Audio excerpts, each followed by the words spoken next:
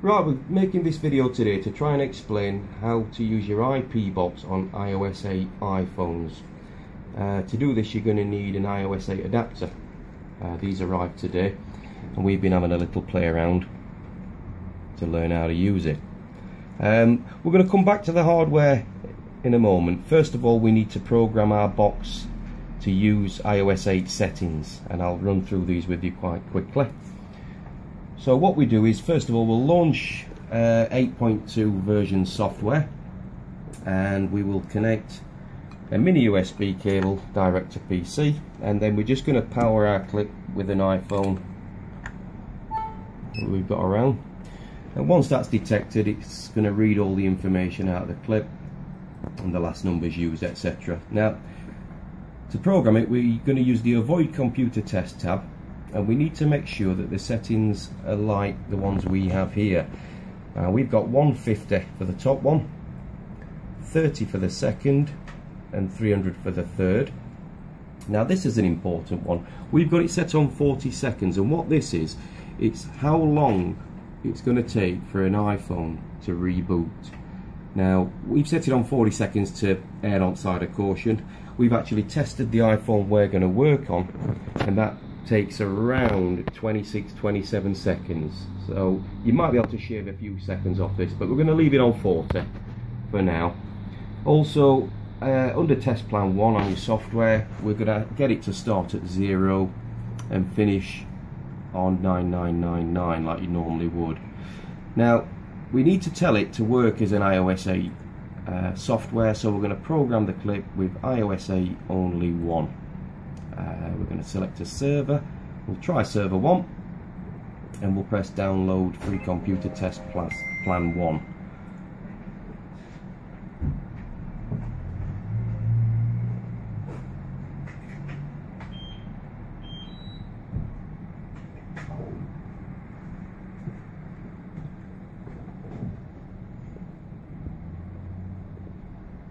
It's taking its time. Sometimes these servers can be busy it's, errored. just try another server. Doesn't like that one. We'll try number two.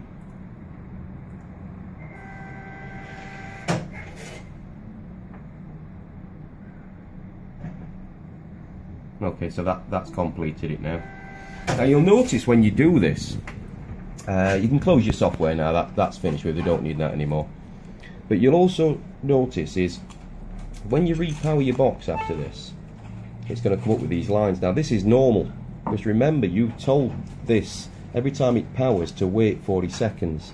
So that actually won't come to life and say USB with the software running until 40 seconds is up and then you can reprogram it back. So just keep that in mind that you have got this delay on it. So I'm just going to power it down.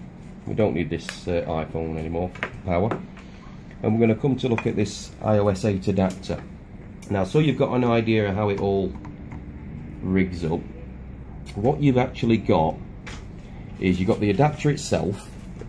Now, the adapter connects to your IP box uh, through two methods. It connects on the mini USB and it also connects where you'd normally have your light sensor. So, first of all, I'm going to connect that.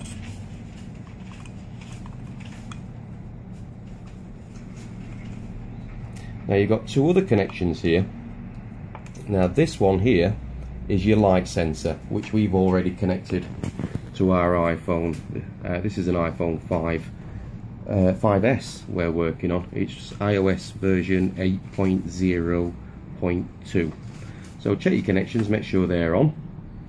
Now we've already put our sensor in an area where it's just above the slide for emergency. Um, so that's that one set. And the other one now you get, uh, I think it's five connectors for these. What this is, it connects from the adapter to where the battery would would sit here. And this is what's going to be powering the iPhone on and back off again between efforts. So what we need to do is we're going to put our mini USB cable in. And we're also going to connect up the USB cable supplied with the box. You need powered cables for this by the way. And what this will start to do now is starting to power the phone up.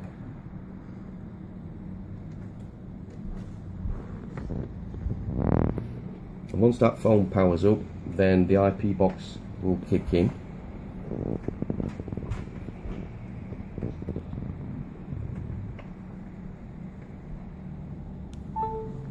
Right, so the phone's booted up, but remember we've got this millisecond delay of 40 seconds as well, so we need to wait.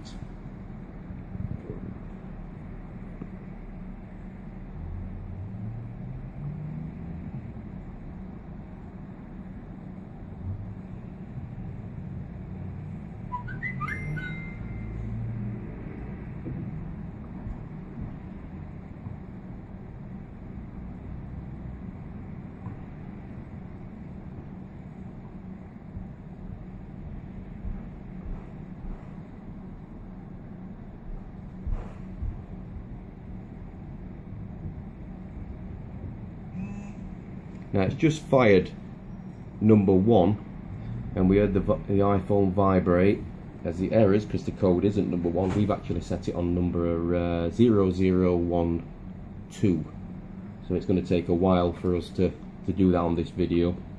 I'll probably upload another video showing you the clip's reaction once it's actually found the code. But what happens is as soon as it's sent a wrong code it'll automatically reboot the iPhone and once that's kicked in we wait 40 seconds and it's going to try the next code which would be 002 and it will continue to do this. Now when we tested it earlier once it did find the code IP box flashed as normal because the light sensor detected the screen change and it displayed the correct code on the screen. Uh, we've tested this on today on 8.0.2 uh, if we get any get hands on some other iPhones we will test it and report more later on you can buy the IP box and the iOS 8 adapter from phonefunshop.co.uk. Just check the forensics link at the top right hand side. Thanks for watching.